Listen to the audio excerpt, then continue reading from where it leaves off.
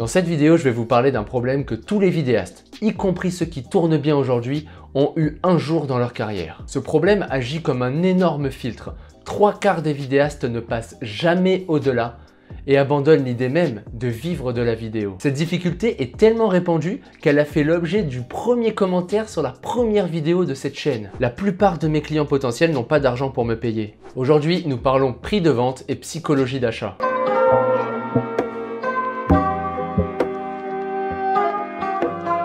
Jordan est un vidéaste talentueux et passionné. Il a commencé la vidéo en reproduisant des techniques apprises sur YouTube et en réalisant des petits films de voyage. Un jour, il a décidé de passer le pas et il s'est lancé en tant que vidéaste. Il a trouvé ses premiers projets non rémunérés. Il était vraiment content. Et il faut le comprendre, pour Jordan, ce n'était pas juste des projets gratuits, mais le début d'une nouvelle vie avec au bout du tunnel un idéal, vivre de sa passion. Son projet était assez clair. Étape numéro 1, faire des projets non rémunérés. Étape numéro 2, se constituer un portfolio qui va prouver sa compétence. Et étape numéro 3, démarcher des clients avec ce portfolio. Aujourd'hui, Jordan a réussi à franchir les deux premières étapes. Il a trouvé ses premiers projets non rémunérés et s'est constitué un portfolio. Mais Jordan n'arrive pas à trouver de bons clients. Il n'arrive pas à facturer plus de 500 euros par projet, ce qui bien entendu ne lui permet absolument pas de vivre. Il aimerait pouvoir augmenter ses prix, mais le problème c'est que les clients qu'il a actuellement n'ont tout simplement pas cet argent, aussi important soit le projet, ils ne pourront tout simplement pas payer. Par conséquent, Jordan se sent bloqué. D'un côté, ces projets sont vraiment plaisants à réaliser, mais de l'autre, les temps de production élevés et le faible revenu font que ces projets ne sont tout simplement pas rentables. Pour Jordan, actuellement, l'idée même de vivre de la vidéo semble bien lointaine. Jordan commence à douter, il se dit qu'il n'a pas le bon matériel, qu'il n'a pas les compétences suffisantes pour pouvoir vivre de sa passion. Jour après jour, le doute le ronge. Peut-être que vivre de la vidéo n'est qu'un doux rêve caressé par ceux qui ont du matériel hors de prix. Et finalement, nous en revenons au premier commentaire de cette chaîne. La plupart de mes clients potentiels n'ont pas d'argent pour me payer. Sous-entendu, je ne peux pas en vivre. Jordan est une personne fictive, mais ce problème n'en demeure pas moins réel. Aujourd'hui même, nombreux sont les vidéastes qui sont bloqués à cette étape. Et même les personnes qui tournent bien aujourd'hui se sont un jour retrouvées à cette place.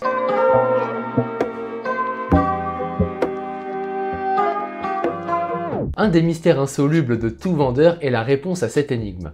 Pourquoi un individu achète? Il serait tentant de répondre que la seule motivation des individus quant à l'achat serait la survie.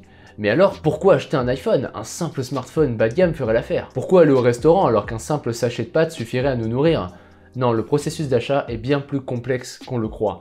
Et surtout, il n'est pas rationnel. Lorsqu'une personne se rend dans un bon restaurant, elle ne cherche pas juste à se nourrir, elle cherche un certain cadre et à passer un moment agréable. Ces éléments subjectifs peuvent varier d'un client à l'autre ou d'un établissement à l'autre. Si nous avions une machine qui nous permettrait de retranscrire les dires d'un prospect lorsqu'il se trouve devant un service ou un produit, voici ce que celle-ci nous apprendrait. Est-ce que la valeur de ce service est supérieure à la valeur de mon argent? Si la réponse est oui, il achètera et dans le cas inverse, il tournera les talons et s'en ira au loin. Le mot important ici est le mot valeur. Prenons par exemple un billet de 20 euros. Lorsque vous y pensez, vous pensez pas à ce qu'est rationnellement un billet de 20 euros. Finalement, un billet de 10 euros, 20 euros, 50 euros ou 100 euros ne sont que des bouts de papier. Pourtant, vous aurez plus de facilité à jeter une feuille de papier blanc à la poubelle plutôt qu'un billet de 20 euros. La raison est simple, la valeur que vous attribuez à un billet de 20 euros est largement supérieure à la valeur que vous attribuez à une feuille de papier. Et pourtant, dans les deux cas, nous parlons exactement de la même chose un bout de papier. Finalement, nous pourrions dire que la valeur d'un billet de 20 euros est l'ensemble des choses que vous pouvez faire avec ce billet. Par exemple, vous pourriez vous commander un plat à domicile, vous pourriez aller dans un petit restaurant, ou vous pourriez vous acheter un produit que vous désirez. Par conséquent, si je vous propose d'échanger ce billet contre un service, il faut que la valeur que vous attribuez à mon service soit supérieure à la valeur que vous attribuez à votre billet. Cet élément s'appelle la valeur perçue et elle est complètement subjective, ce qui veut dire qu'elle varie de client en client. Cette valeur perçue peut être appliquée à des éléments psychologiques, comme la notion de problème chez un individu. Par exemple, si je prends mon cas personnel, j'utilise énormément mon ordinateur. J'y monte mes vidéos, j'y écris mes vidéos, j'y écris mes articles, je gère mes entreprises de ce poste. L'intégralité de mon revenu dépend de mon ordinateur, si bien que si celui-ci tombe en panne, je n'ai plus de revenus. La valeur du problème panne d'ordinateur, pour moi, est extrêmement élevé, puisque si j'ai plus d'ordinateur, j'ai plus de revenus. A contrario, ma sœur a un ordinateur portable qu'elle utilise presque jamais. Il est tellement peu puissant que le simple fait d'aller sur internet cause d'énormes ralentissements. Si bien que la valeur du problème panne d'ordinateur pour ma sœur n'a pas grand intérêt. Je ne sais même pas si elle s'en préoccupera. Cette valeur de problème est directement liée à l'argent que je suis capable d'investir pour le résoudre. Dans mon cas, par exemple, je suis capable d'investir peut-être 5 fois plus que ma sœur pour résoudre le même problème. Panne d'ordinateur. C'est la démonstration qu'un prix possède deux facettes, une valeur réelle et une valeur perçue. Il est possible de matérialiser ce fait sous forme de calcul. Prix égale valeur du problème fois chance de le résoudre. Si l'on représente cette équation sous forme matricielle, voici ce que l'on obtient. La meilleure des positions est évidemment d'être en haut à droite. Une grande valeur de problème couplée à une grande chance de le résoudre vous assure des ventes régulières à un prix élevé. Et comme je l'ai dit précédemment, il y a deux facettes, une valeur réelle et une valeur perçue. Pour faire une analogie, c'est la notion de packaging et de produit fini. Pour un résultat optimal, il faut que ces deux éléments coïncident parfaitement. Un beau packaging forcément va générer beaucoup de ventes. Mais si le service réel est largement en dessous de la promesse du packaging, vous passerez inéluctablement pour un arnaqueur. Inversement, si vous avez un service avec une grande valeur, mais que vous l'emballez dans un packaging médiocre, vous aurez beaucoup de mal à vendre. Si l'on reprend le thème des pannes d'ordinateur, le service réel est réparation d'ordinateur. Mais le packaging et le service peuvent être améliorés. Si par exemple je vous dis, je répare votre ordinateur en moins de 24 heures, nul doute que ce petit élément de différenciation, dans le cas où mon ordinateur est effectivement en panne, va me faire passer à l'action, même si je dois payer deux ou trois fois plus cher. Ça sous-entend évidemment que vous respectez votre promesse. Si vous me rendez mon ordinateur avec une semaine de retard, il y aura un problème. Et vous passerez inéluctablement pour un arnaqueur ou un service de mauvaise qualité.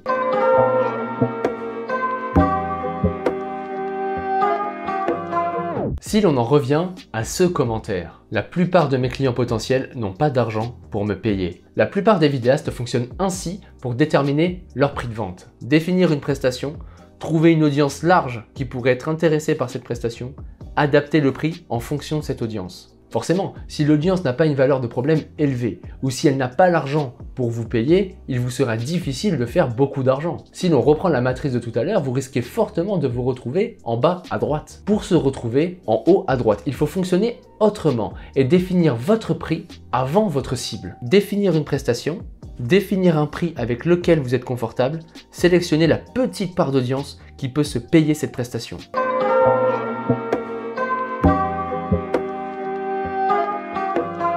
Le problème avec cette méthode est psychologique. Grand nombre de vidéastes ciblent une audience large pour augmenter le nombre de prospects potentiels. Ainsi, en parlant au maximum de monde, ces vidéastes pensent augmenter leur chiffre d'affaires. C'est ainsi que naît la peur de se limiter. Je suis particulièrement sensible à ce problème parce que je l'ai personnellement vécu et je sais qu'il est très difficile de passer au-delà. Mais je vais quand même essayer de vous présenter les choses sous un angle intéressant. Imaginons que votre objectif à l'année soit de générer 100 000 euros de chiffre d'affaires. Vous pourriez faire ça de différentes manières. Par exemple, vous pouvez vendre 10 000 prestations à 10 euros, ou 1000 prestations à 100 euros, ou 100 prestations à 1000 euros ou encore 10 prestations à 10 000 euros. Vendre 10 000 prestations à 10 euros est de loin la méthode la plus complexe car ça demande un processus de création très sophistiqué et une très grande automatisation des tâches. De plus, ça demande de toucher des centaines de milliers de personnes tout en ayant des marges réduites. La meilleure des positions, c'est celle du milieu. Vendre 100 prestations à 1000 euros. Si vous faites une prestation par client, vous devez convertir uniquement 100 clients sur un an. Et si vous avez une méthode pour vendre deux prestations à un client, il ne reste qu'à convertir 50 clients sur l'année. Par conséquent, lorsque l'on définit une audience cible, nul besoin de s'adresser à la terre entière. Il faut s'adresser aux 50 clients capables de payer 2000 euros par an pour de la vidéo. Il ne vous reste plus qu'à fixer votre prix de vente et pour ça, j'ai un outil qui peut vous intéresser. J'ai créé un générateur de prix. Il vous suffit de rentrer le revenu net par mois que vous désirez avec vos charges et automatiquement le générateur va vous calculer un prix de vente. Il est accompagné d'une petite vidéo tutoriel si vous n'arrivez pas à maîtriser l'outil tout y est expliqué et tout est simplifié. Il vous permettra de ne plus avancer en aveugle. Vous savez exactement où vous allez, vous savez exactement ce que comprend votre prix. Et je sais par expérience qu'il est très difficile de mettre une valeur absolue sur un service tel que la vidéo. Merci de m'avoir suivi jusque là. Vous pouvez vous abonner pour ne rater aucun contenu. Vous pouvez également liker cette vidéo. En ce qui me concerne, je vous dis à bientôt et bon courage dans vos projets.